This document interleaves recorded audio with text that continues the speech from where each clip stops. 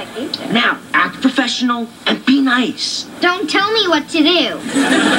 Do you want to sell this house and get the money to buy a GoPro camera? Yeah, but you work for me. I don't work for you. Do you want my This help is or my not? playhouse. This is I'm a- no I'm time the yet. here. I'm Please not take it. Well, hello. Welcome to my backyard.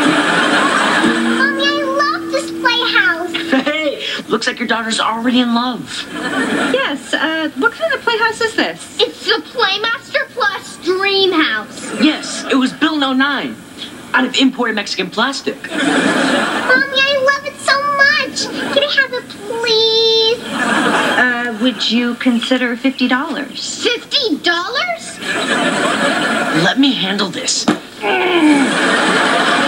My client feels that $50 is way too low for a playhouse of this quality. Come on, it's not exactly fresh and new. Neither are you. Okay, you need to learn some manners. That's it. Piper, don't!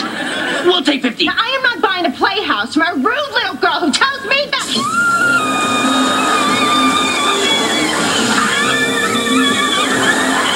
Wait! No! Come back!